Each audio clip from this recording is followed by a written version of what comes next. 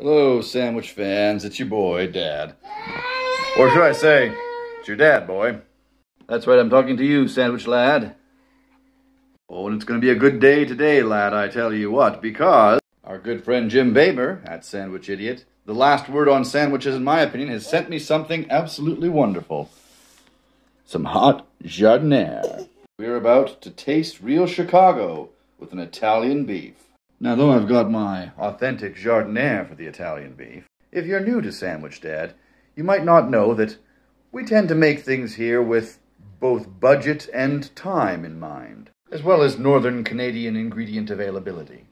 And here's what we're going to use. The store was out of Italian rolls, but I've got a fairly nice looking baguette here. We're to take a bit of a shortcut with some deli roast beef.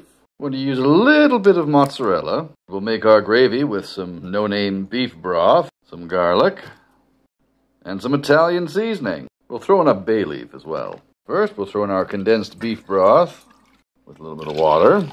Throw in our Italian seasonings and some chopped garlic. Add some pepper, stir that up, get it hot, and then we'll cool it down just some. Make the boy a little ham and cheese while we wait. Here you are, lad. He prefers it deconstructed. Now that that's down to a simmer, let's begin to add the beef. Let that go in there for a few minutes. Slice open our nice crusty bread here. Start with a bit of mozzarella. Then we'll take this nice dripping hot beef and put it on our sandwich. Mm-hmm.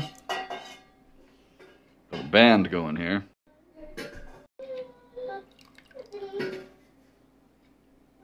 Now that that's looking good, the jardiniere. Oh boy. I think we'll also ladle a bit of that gravy on there. And of course, a little extra for dipping. We can close it up here. And let's have a look. Oh yes, look at that dripping juicy sandwich. All right, taste test. And with the dip. This is outrageously good. A jardiniere packs a nice punch, and oh man, five out of five to the moon. Jim, thank you again so much for sending it. This is Sandwich Dad saying, Good day. You know it's good when this is the aftermath.